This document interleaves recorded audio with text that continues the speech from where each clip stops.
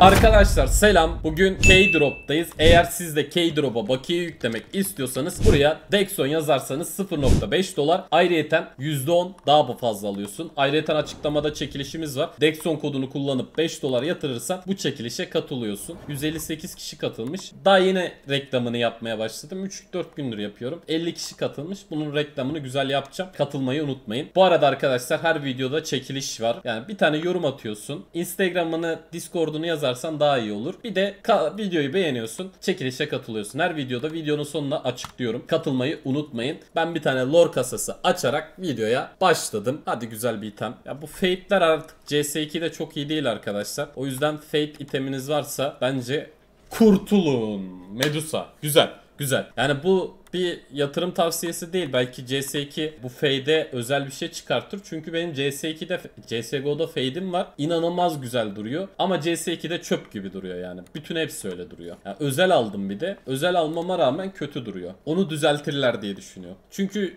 çoğu şeyde itemde it bug var arkadaşlar. Mesela şeyde var. Pandora var ya arkadaşlar. Bak gidin bakın. Pandora'nın savaş görmüşü CS2'de inanılmaz güzel duruyor. Önceden bak pazarlarda çok fazla Pandora savaş görmüş olurdu. Şu an herkes savaş görmüşü topluyor. Belki insanların elinde patlayabilir arkadaşlar. Çünkü herkes topluyor yani. CS2 bir güncelleme atacak. O Pandora skinini normale çevirecek. Ondan sonra görecekler. Ulan şu Onitaji. O Onitaji hala pahalıymış ya. Önceden çok çok daha pahalıydı. Şimdi de yine pahalı ya. Güzel iki tane bıçak aldık arkadaşlar. Bıçakları da alalım. Şunları satayım. 3227 dolarımız var. Ne yapalım? Vice mı? Bloodshot açalım ya. Bir 5 tane de Bloodshot'tan açıyorum. 1500 dolar verdim. Sonra bir de normal açalım. Oğlum çok battık lan galiba. 746. Bir tane de hızlı açalım. Battık. Vallahi battık. Bir de normal açalım şundan. Açamıyoruz. 4 tane açtım. Oğlum batırdı lan bu kasa bizi.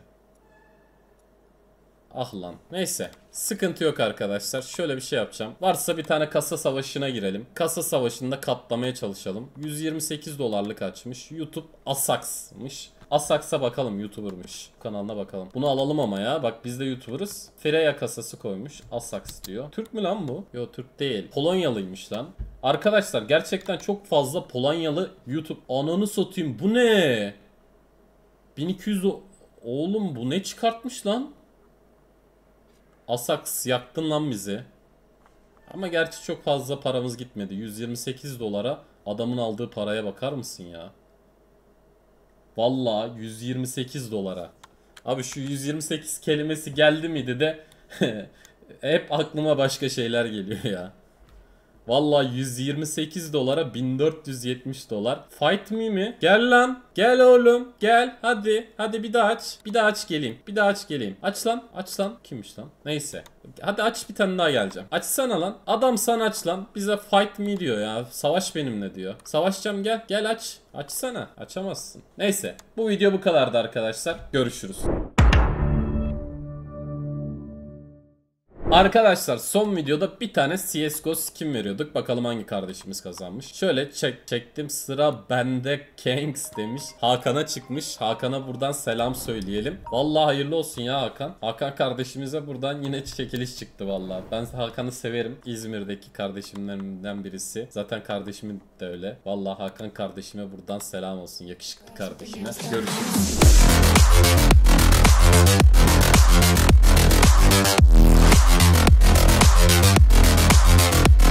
possible.